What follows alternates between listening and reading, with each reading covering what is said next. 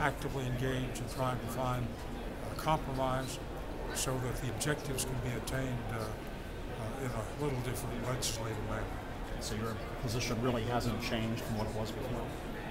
Well, uh, my position before was that I voted for cloture uh, because I wanted to have the Senate consider changes in labor law. And I said at that time that I was not endorsing the bill.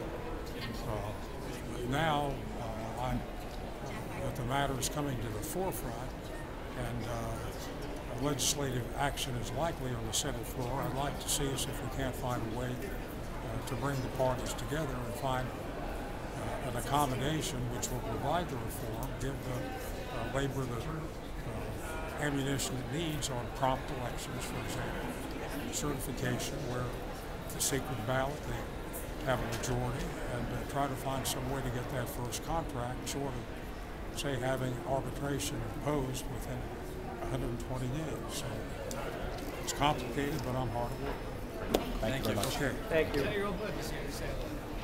How Larry is Bill Jordan. How are you, Welcome to the most handsomest couple in Pennsylvania to the Democratic Party. Yeah, stop over, stop over. You know, it's the same issue stuff, but it's not anything personal or, you know, we're about where we are.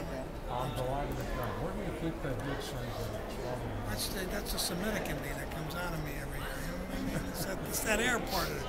You know, you're, doing wonderful. You're looking well. So uh, it's we feel good. good to see. We'll work things out. It's good.